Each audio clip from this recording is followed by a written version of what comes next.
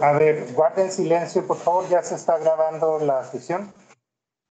Aquí de hecho hay varios eh, scripts. Este, por ejemplo, hace, sirve para hacer ladrillos, stone wall, eh, buscando aquí el generador de rocas. Hay algunos que hay que pagar por ellos, pero bueno, pues los, puede, los podemos revisar. Este es el generador de roca. Normalmente aquí nos muestra, por ejemplo, Alessandro Ardolino, que fue el que lo hizo.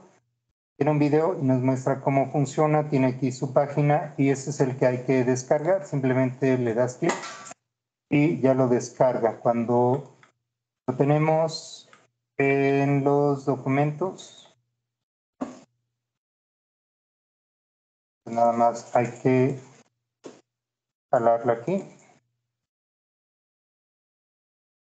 Ya nos aparece las opciones para modificar esto. Entonces vamos a darle aquí en crear y crea aquí una roca de este tamaño. Tienes varias opciones, roca básica.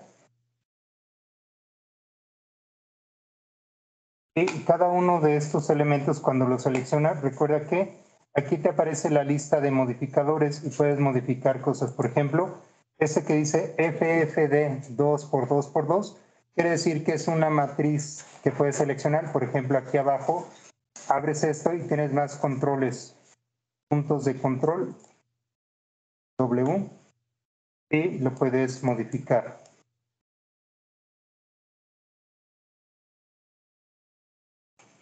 Eh, también tienes más modificadores, por ejemplo, estos de aquí. Micro ruido, eh, puedes trabajar, por ejemplo, la cantidad de rugosidad que puede esto tener aquí en roughness. Iteraciones. Esto conviene que no lo suban a más de 10 porque eh, esto se va subdividiendo, se subdivide la malla. malla. Voy a apretar F4 y aquí eh, nos podemos dar cuenta de lo que está haciendo. subdividiendo todavía más.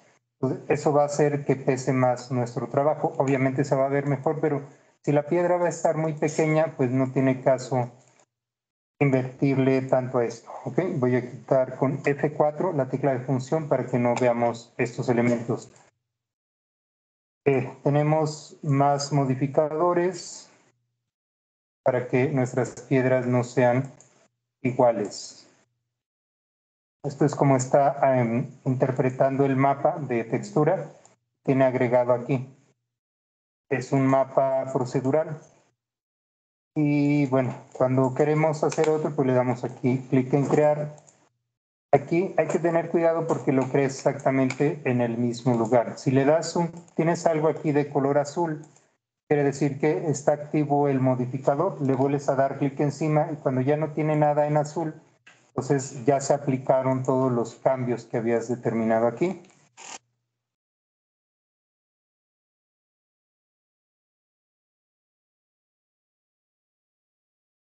Bien, eh, entonces vamos a crear varios. De hecho, también, eh, bueno, lo más adecuado sería darle aquí clic en crear. Y luego modificas estos valores. Aquí en la parte de arriba vamos a hacer primero el plano. Y también le vamos a agregar un mapa de ruido que es básicamente lo que tienen estas, estos, estas esferas. Para hacer eso necesitamos aumentar el número de segmentos. Aquí tiene cuatro. Vamos a ponerle 150 por 150. Nos da una malla así de cerrada. Nos vamos aquí a modificar. Vamos a la parte de ruido, ¿no? Y aquí tenemos donde dice fuerza diferentes valores que mueven. Por ejemplo, este es X, este es Y. Y este sería el de la altura o la profundidad, que es precisamente Z.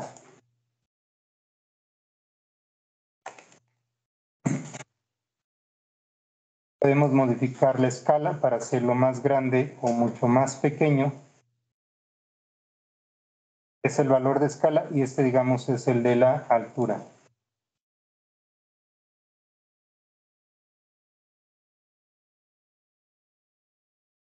Pues nuestras piedras quedan por aquí. Podemos hacer esto incluso más pequeño. Y aquí tenemos nuestras piedras. Conviene, como les decía, en algún momento nombrar las cosas. Este sería el piso, le damos Enter y ya queda aquí guardado. Estas de acá, podemos darle incluso botón derecho, Freeze eh, Selection al piso, ya no lo estamos seleccionando, es con botón derecho, Freeze Selection. Cuando lo quieras mover, pues le das descongelar a todo. Entonces ya tomamos de aquí las piedras y podemos hacer incluso con una, a ver, vamos a ver si funciona, con una sola. A muchos de ustedes les ocurrió lo siguiente, cuando eh, aparecen como estos, este cursor doble.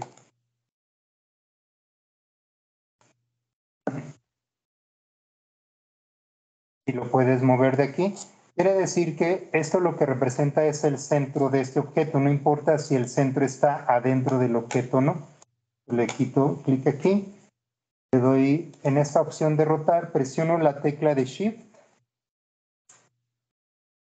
y puedo hacer las piedras, digamos, alrededor de esto. Vamos a dejarle aquí copy y vamos a ponerle las ocho copias. Sobra una y nuevamente afectar solamente el pivote, le damos aquí centrar al objeto y cerramos esta parte. En realidad pues ya no necesitaríamos mover esto. Vamos a ver si se la podemos hacer a todos, afectar, centrar al objeto y ya nuevamente cada gizmo está dentro de su propio objeto. Si lo rotamos, el objeto va a rotar a partir de aquí. Y es lo que podemos hacer para darle aleatoriedad a esto. Puedes seleccionar uno, te vas a modificar. Modificar es como es el, el historial de todo. Si te vas, por ejemplo, aquí tapando los ojitos y ves que la geometría que se utilizó originalmente, pues fue una caja, se le dio la opción, el modificador es verificar, luego un turbo smooth para subdividirlo, luego mapas de desplazamiento, macro, medio, eh, mapas de ruido, y finalmente esta opción de aquí. Ok, bueno, pues así es eh, como funciona esto. Y te vas aquí, puedes modificar algunos valores. Voy a quitar el F4. Por ejemplo, modifica la escala. Eso fue demasiado alto. Roughness. Y esta piedra pues ya no es igual que la otra, la puedes rotar tecla R la puedes escalar, entonces ya no son exactamente iguales. Y también pues es una manera rápida de trabajar porque pues quién se va a estar fijando en si las piedras son iguales o no. Tecla R también puedes deformar incluso sin entrar aquí al FFD y ahí quedan aquí aplastados. Ahora vamos a hacer las líneas. Las líneas nos vamos al signo de más. Enfrente de esa geometría tenemos shapes y tenemos aquí línea. Entonces, línea, hay que abrir siempre esta pestaña rendering y de aquí vamos a activar habilitar en render y habilitar en el visor. Vamos a ver qué hace aquí. Doy un clic y arrastro. Entonces, esta línea ya tiene volumen botón derecho cuando ya no quieras seguir creando. Aquí puedes modificar el grosor de tal manera que cuando hagas la siguiente va a tener esos valores aproximados. Clic y arrastramos, clic y arrastro.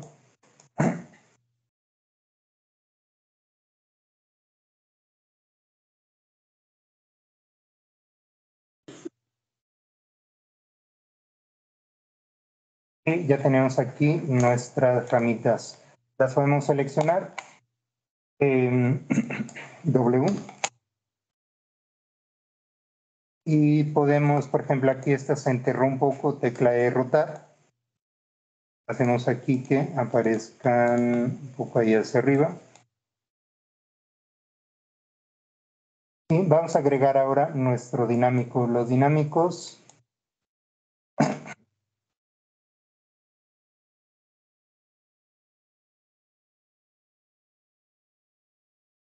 está en Atmospheric Apparatus.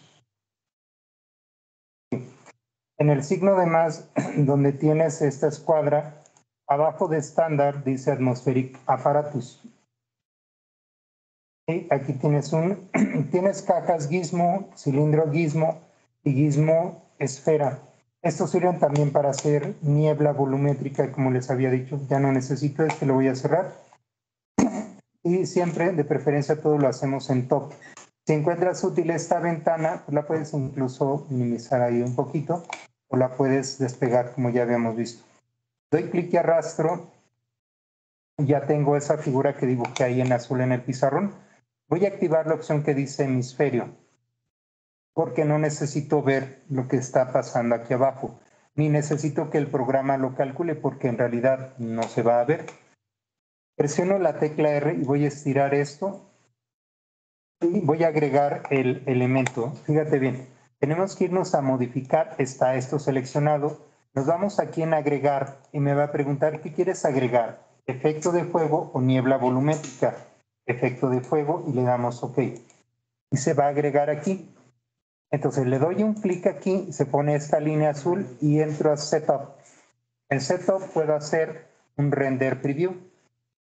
Si no está seleccionada la ventana de perspectiva, está seleccionada la de front, aquí lo veo por esta línea café, en realidad no me va a mostrar nada. Tengo que eh, ubicarme en, esta ventana. Entonces aquí me va a hacer un render en miniatura.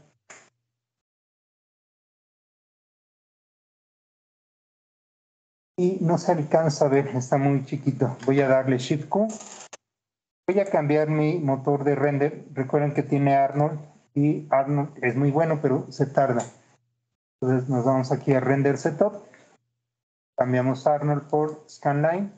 Le volvemos a dar Renderer.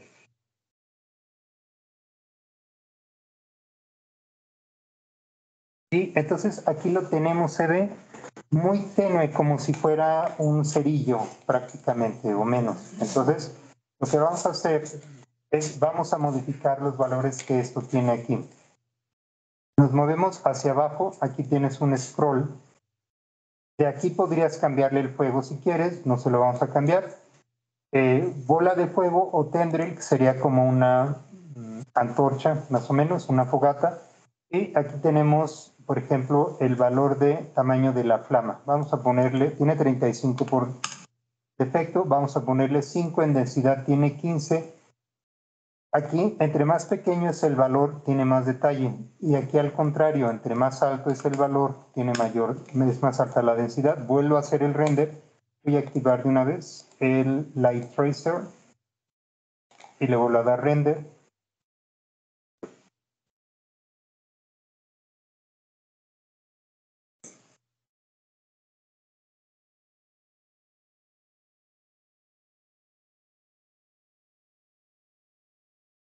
Ok, lo está procesando. Ok, bueno, es un poco extraño cómo está... Vamos a bajar el tamaño a esto. No debería de tardarse tanto. Aquí en común podemos hacer eso. Aquí eh, nos va a mostrar solo una imagen. Aquí tiene la, el tamaño predeterminado, pero podemos darle uno más pequeño. Esto es recomendable también cuando estamos haciendo renders, también les voy a decir cómo sacar solamente imágenes, por si el render se tarda mucho, después lo tendríamos que componer como video. Eh, aquí en Custom tú le puedes dar, por ejemplo, este es el tamaño que tenía, la resolución mínima que tiene un monitor hace muchos años. Vamos a renderizarlo ahí. A ver si lo hace un poco más rápido.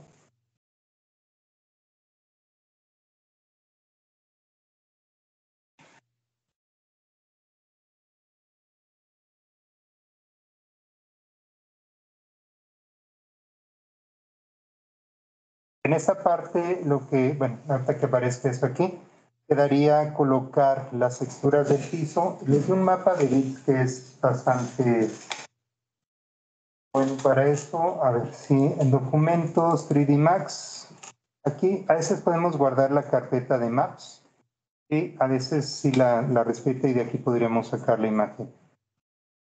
Ok, ahí tenemos ya el, con más detalle el juego Quiere decir que necesita más detalle en la flama. Vamos a ponerle 1. Y aquí en densidad vamos a ponerle 80. ¿De qué depende esto? Depende del tamaño con el que estamos trabajando las cosas. Lo que voy a hacer ahorita, voy a escalar todo a ver si eso funciona. No es lo mismo calcular que esta fogata sea del tamaño de mi mano, aquí en mi mano, si fuera como de un encendedor o de un cerillo, o fuera del tamaño de este salón, o fuera del tamaño del edificio. Entonces vamos a considerar ahorita que esta flama es como del tamaño del salón, vamos a hacerla más pequeña, nada más a ver ahorita cómo sale. Igual cuando utilicen materiales que reflejan cosas o refractan, entonces ahí lo que convendría pues también es trabajar con tamaños pequeños. ¿Por qué? Porque el programa en realidad lo va a representar exactamente igual. Como si esta piedra fuera del tamaño de uno de los monitores o del tamaño del salón o del tamaño de una llave. Eso no importa porque son vectores. Aquí ya se ve mejor la densidad. Y eh, me doy cuenta por el tamaño tan pequeño. Tuve que ponerle aquí en tamaño de la flama. Bueno, ¿cómo lo hacemos más pequeño todo? Control A. pues lo, lo pueden anotar si gustan. Sirve para seleccionar todo lo que hay en el visor y voy a hacer todo mucho más pequeño.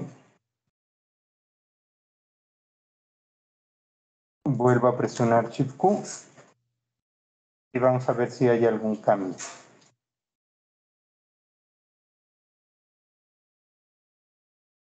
Esto depende también de muchas cosas, aunque tengas mucha memoria RAM, si no tiene un acelerador de gráficos, si no está configurado todo para que esto funcione adecuadamente, puedes tener una muy buena máquina, pero como es el caso ahorita, es una buena máquina, pero algo no está funcionando bien aquí. Puede ser desde que estoy grabando aquí o que estoy conectado en la red con esto.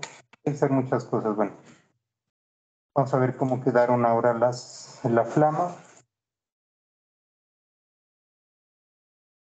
Otra vez tendría que ajustar el valor de aquí el la densidad. Vamos a ponerle 120. Aquí conviene ir probando como de 40 en 40 o 50. Y eh, lo que voy a hacer ahora es voy a animar la flama.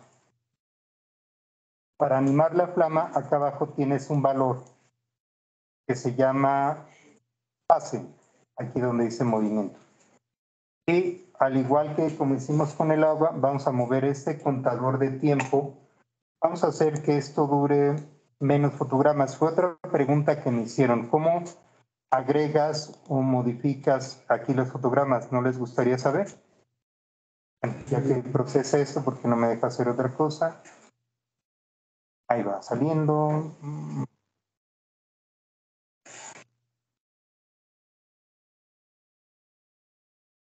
Bueno, aquí la otra cosa que me quedaría es hacer esto más grande. Ok, ahora vamos a ver aquí cómo agregar o quitar fotogramas. Estoy apretando Control Alt. Y aprietas con el botón derecho aquí y aprietas Alt. Control Alt puedes tener valores negativos. Estoy apretando tres cosas, control, alt y el scroll del mouse. Con esto puedes agregarle más fotogramas o quitarle la, eh, digamos, manera correcta. Ya no está haciendo un zoom, antes esto te hace un zoom. Bueno, aquí donde tienes un pequeño reloj con una tuerca abajo, configuración de tiempo, puedes decir que quieres solamente 50 fotogramas, le das Enter y automáticamente lo va a reducir a 50 fotogramas. Esta opción de rescalar el tiempo también es interesante y la vamos a ver más adelante. Entonces aquí tenemos ya solamente 50 fotogramas. Me voy a ir a la parte de fase que está aquí abajo. Recuerda que para animar hay que apretar la tecla N o darle clic en Auto Key. Pones el cursor, ahí te dice la tecla N. Bien, avanzo al otro lado y aquí le puedo poner unos 500, Enter. Y si esto quedó bien, es porque le diste Enter y te quedan aquí estas marcas rojas. Y bueno, si hago aquí el render, Shift Q. Ok, mucho cuidado. Aquí eh, seleccioné otro visor sin darme cuenta y eso ocurre con mucha frecuencia. Cancelo esto. Es este visor de aquí. Shift Q. Avanzo y luego vuelvo a hacer Q. Voy a notar que las flamas se están moviendo. También eh, lo que hice ahorita fue aumentar el tamaño de esto. Aparentemente va a rodear todo, pero ya vimos que en realidad la parte de las flamas era una zona aquí muy pequeñita. Voy a agregar las luces.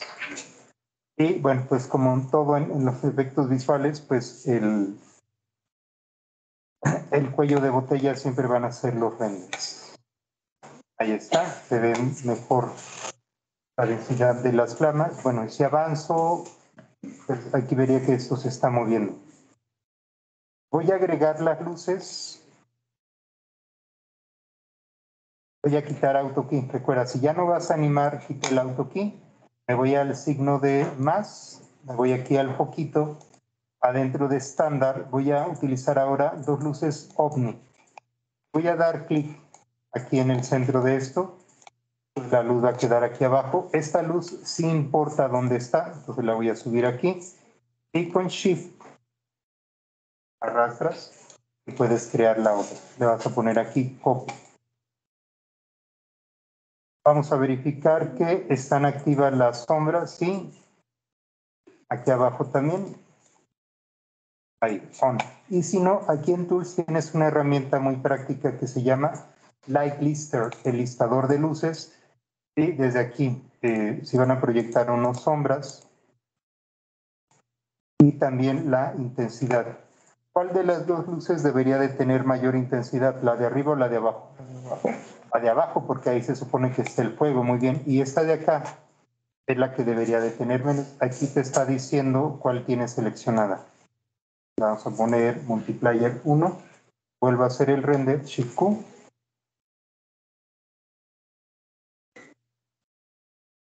y vamos a esperar a que haga el render.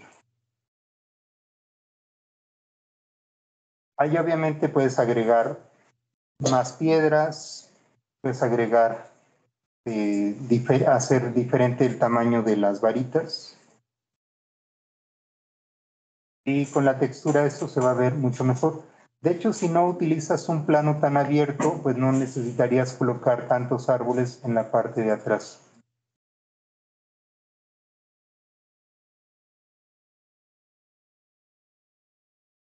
Y por último voy a agregar la cámara.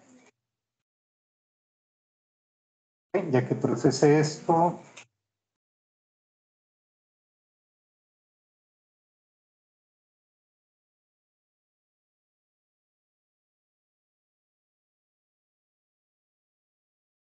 Y además, fíjate, esta luz no es una luz ovni, que todavía haría que se tarde mucho más.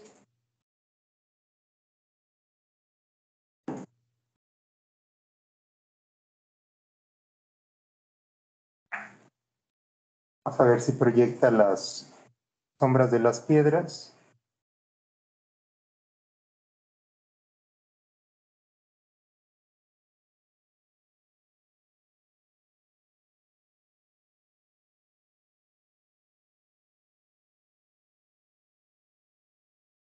Ahí va, ahí va. Bueno, hasta que nos deje eh, activar esto en el signo de más, Aquí vamos a encontrar el icono de las cámaras. Tenemos dos tipos de cámaras, principalmente aquella que está montada sobre un tripié y tiene, digamos, la misma altura, y aquella que funciona como una cámara libre, como si estuvieras grabando con el celular o con las cámaras de antes que teníamos así de en la mano.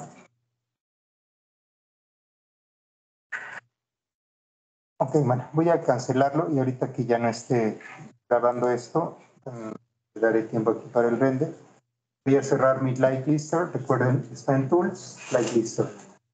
Y vamos a sacar de aquí la cámara. Física, Target y Frame. Básicamente lo mismo que expliqué hace rato. Por ejemplo, eh, la target, igual la creas en top, lo primero que creas es la cámara que está aquí, lo segundo es el target.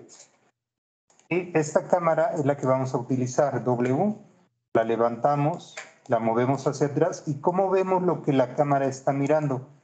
¿Con qué letra empieza cámara? Apretamos la tecla C y entonces aquí vemos lo que está mirando la cámara. Esto hay que ajustarlo todavía el piso, le voy a dar un phrase all y puedo todavía con la tecla R aplanar esto todavía un poco más porque pues aquí se nota que esto está flotando. Y el movimiento que vamos a hacer es este. Normalmente las cámaras se mueven en el visor de top, solamente aquí. ¿Cómo animamos tecla qué? ¿Se acuerdan? N. Avanzo hasta el 50 y voy a acercar la cámara. Incluso podría rotarla un poquito. Y vamos a ver cómo queda el movimiento. Si le damos play, vamos a ver cómo se mueve la cámara. Se mueve muy rápido. Eso quiere decir que la moví demasiado cerca. La alejamos otra vez.